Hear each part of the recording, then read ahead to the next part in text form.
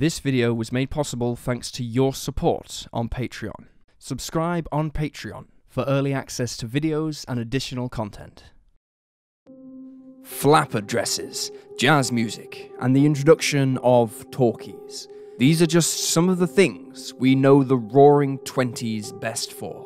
But in one of the world's most prosperous decades, underneath the glitz and glamour, there lies countless unsolved mysteries. In today's episode, we'll be exploring two bizarre cases of people who vanished in the 1920s. But first, I'd like to thank Hunt a Killer for sponsoring today's episode. If there's something undeniable about the warm summer months, it's that there is no better time to gather around with friends, enjoying each other's company and the fine weather. But perhaps this time you want to bring something a little different to the time spent with others. Luckily, we've solved the mystery with a game of goosebumps that will add intrigue to any night's itinerary in the made for adventure masterpiece, Hunt a Killer. In this subscription based interactive game of sleuthing, you'll receive regular monthly deliveries with new cases to crack each time. Every box includes a unique mystery, sucking you into a world of clever clues, mind bending puzzles, and the chance to finally solve that murder, keeping you up at night.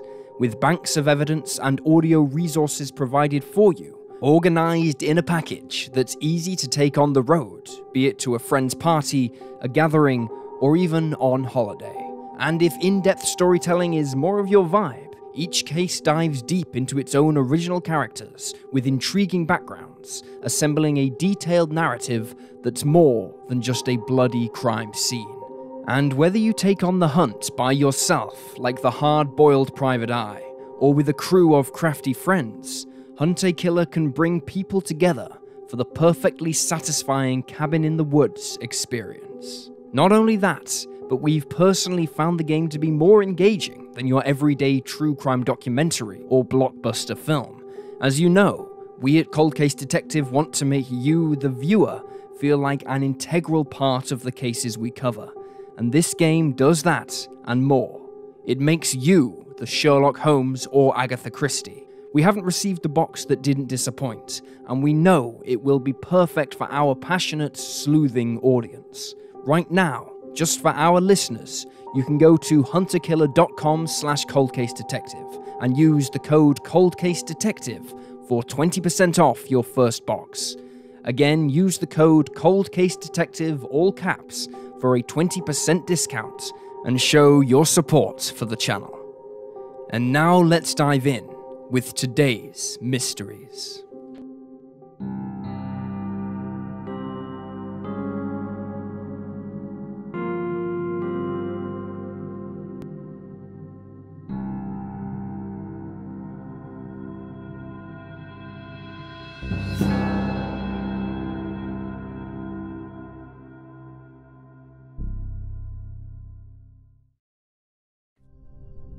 Marvin Clark. Now well known for being the oldest active missing persons case in the United States, Marvin Clark was not a stranger in his hometown of Tigard, Washington County, Portland. Popular and well liked, Marvin continued to live a rich and fulfilling life. Born sometime in 1852 in Marion County, Iowa, he had several jobs over the years, working as both a farmer and a town marshal where specifically he worked as a sheriff. This latter career is what added to his family's concern when he vanished in the 1920s. On October 30th of 1926, at around 1 pm, Marvin left his home. It is unclear why exactly he did this and what means of travel he used, as sources on the 75 year old's case differ. In one version, Marvin left to visit his daughter who'd recently moved from Washington to Portland. In another version of the tale, he was reportedly traveling to a dentist appointment via stagecoach. The last confirmed sighting of the retired sheriff was at a bus terminal on Yamhill Street in downtown Portland. He was dressed in a dark suit jacket and trousers. Mentally, Martin's loved ones believed he was in perfect shape. Although he was getting on in life, he had not shown any signs of dementia or memory loss. Physically, however, he had his fair share of issues. Namely, he could not use his right arm due to paralysis, and he walked with a limp, which was described by newspapers at the time as a hanging gait. Marvin never made the 10 mile trip to his daughter's home. His wife, Mary, discovered this when she contacted Sydney only to find out that she hadn't seen her father. Worse yet, Sydney hadn't been expecting him. He had visited during the week prior to his disappearance. While Mary filed a missing persons report, Sydney offered a $100 reward for any information which would lead to her father's whereabouts, the modern equivalent of around $1,455. No sign of the 75 year old was ever traced. Witness sightings of him in the local area were non existent in Portland after the time he was seen on Yamhill Street. Then, just over a week later, on November 9th, it was reported by a newspaper in Bellingham, Washington, that Mary had received a postcard believed to be written by her husband. The newspapers described the note as disconnected, saying, The letter indicated that the aged man's mind is wandering and it was badly jumbled, despite the fact that Clark is highly educated, being a graduate of two universities. The postcard was postmarked in Bellingham, and it was soon discovered that several witnesses had seen the retired sheriff in that area, specifically in two hotels on the 2nd and 3rd of November. Reportedly, Marvin had very little money on him at the time of his disappearance. If he truly was the man these people saw, it is unclear how exactly he paid for his hotel stays. The man in Washington was never tracked down, and leads in Marvin's case quickly dried up. The Clark family did not believe that Marvin would have taken his own life, but did, for a time, worry that perhaps he'd become the victim of someone whom he'd had dealings with during his time as a sheriff, perhaps someone who wanted revenge. They also wondered if he'd suddenly become disoriented and gotten lost somewhere, his body never found. Online sleuths have noted that, since Sydney used to live in Washington, perhaps Marvin was suffering from dementia or confusion and had gone there to visit her. In 1986, around 60 years after Marvin's disappearance, the skeletal remains of a man were found by loggers in a wooded area between Tigard and Portland. The skeleton, which was almost complete, had no identification but was accompanied by numerous distinctive items, including an 1888 Liberty Head nickel, a 1919 penny, a pocket watch, a pair of leather shoes, a pair of wire rimmed glasses, a Fraternal Order of Eagles pocket knife, and finally, four tokens inscribed with D and P. The tokens are thought to have been those awarded in card games, which allowed the carrier to buy food and booze from specific pubs. Investigators also discovered a rusted 38 revolver and one spent shell. The skeleton's autopsy revealed that John Doe had a bullet hole in his skull. His death was ruled as suicide, and he was likely between the ages of 35 and 55. Despite being at least 20 years younger than Marvin Clark, his family wondered if this is what had become of him. Marvin's granddaughter came forward to tell the police about her suspicions. According to one article, she told them her grandfather sometimes walked with a cane and that he had become depressed in the years before his vanishing because of his medical problems. At this time, a definitive link between John Doe and Marvin Clark could not be made. Sadly, his granddaughter Dorothy passed away just five years later, in 1991 without leaving any DNA for future testing. It wasn't until 2011 that the case was re examined again. Dr. Nici Vance, who is currently the state forensic anthropologist at the Oregon State Police Department, looked at Marvin's case file and took John Doe's remains from storage, hoping to close the lead once and for all. Forensic pathologists managed to get DNA from John Doe's remains, but the case grew quiet again for a few years, until 2014, when medical examiners explained they were unable to locate maternal descendants of Marvin's so that they could make a positive ID. They told the Digital Journal that they required someone on his mother's side, saying, quote, There is an association there, but it's not strong at this point. In 2018, Marvin's great great great granddaughter came forward, providing the authorities with her DNA alongside her son's. The samples were sent off to the University of North Texas, who managed to determine that John Doe was not Marvin Clark. Marvin Clark has still never been found, and John Doe is still unidentified. Marvin's great great great granddaughter's DNA, along with her son's, are still on file. They hope that one day they will find his remains and be able to finally bring the case to a close. If you have any information about Marvin Clark's whereabouts or the identity of John Doe, please contact the relevant authorities on 503 988 4300. Alice Corbett. Born sometime in 1906 in Utica, New York, very little is known about the early life of Alice M. Corbett. In 1925, she was 19 years old and attending Smith College in Northampton, Massachusetts. The establishment was a private liberal arts college for women, and Alice was in her junior year, and was, by all accounts, doing well at the university. Early on, in the morning of November 13th, 1925, a fellow student and friend of Alice's, named Jean Robson, was found dead in her dorm room due to an accidental asphyxiation by illuminating gas. It is unclear if the pair lived near each other, as theories by online sleuths suggest that perhaps Alice was also affected by this gas, or was simply shocked by what happened and suffered a mental break. Alice was last seen at around 8 am, leaving her room in the Clark House dormitory. However, she never returned that evening, prompting friends to enter her room and investigate. It was here they found an unsealed letter addressed to her mother. Among other things, the note included the line, Mother, I am going home. College officials, who examined the letter when Alice's friends brought it to them, noted that it included content which indicated that the 19 year old was in a confused state of mind at the time of her leaving. Her father, James Corbett, took the letter to a doctor who agreed with this hypothesis. He determined Alice may have been suffering from mental health problems when she left the dorm that morning.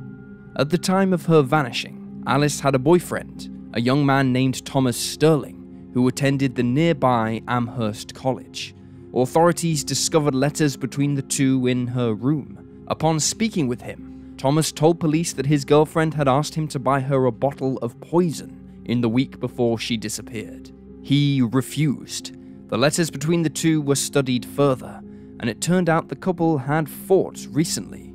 It is unclear if the pair had fought because Thomas declined to buy the poison. Whatever the case may be, Thomas was ruled out as a suspect in December of 1925. Although staff and students helped the police to search the campus, no sign of Alice was ever found. The day following her vanishing, Massachusetts State Police and the local Boy Scouts carried out ground searches in the area. Meanwhile, her father, James, posted a $500 reward for information leading to her whereabouts, and local radio stations broadcast her description. Alice was last seen wearing a dark dress, small brown hat, red belt, and a waterproof yellow rain jacket. She was believed to have been carrying around $75 in cash. Slowly, witness reports began to trickle in. One man believed that he had seen her that morning when she had inquired about the local trolley bus schedule. However, trolley crews themselves stated that no woman resembling Alice had ridden the line that day. Several witnesses then came forward and claimed they had seen a woman resembling the 19 year old in the East Hampton and Westfield areas of Massachusetts. They claimed she was wearing a yellow rain jacket. One week after Mount Tom was searched, numerous witnesses said they'd seen a young woman hiking in that area, which prompted the police to carry out another extensive search. On November 20th, a group of telephone linemen working on Whiting Peak near Mount Tom, reported that they'd been held at gunpoint by a young woman they believed to be Alice. Reportedly, she demanded food, which she ate ravenously before running off into the woods.